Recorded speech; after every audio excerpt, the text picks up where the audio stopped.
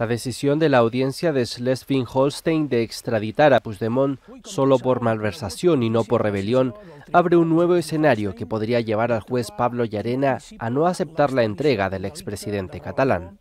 Según fuentes del Tribunal Supremo, Llarena está a espera de recibir la notificación de la justicia alemana y de su traducción para pronunciarse al respecto.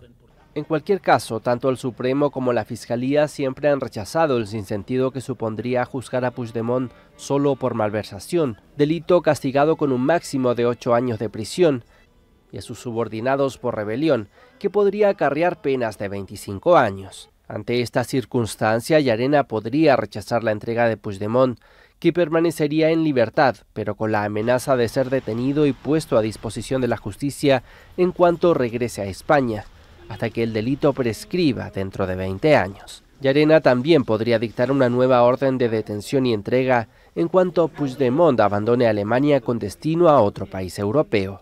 Los abogados del expresidente catalán recurrirán primero ante la propia audiencia territorial y posteriormente ante el constitucional alemán la entrega por malversación. Tienen 30 días para hacerlo y según las defensas, el recurso dejaría en suspenso el proceso de extradición hasta la resolución del Constitucional.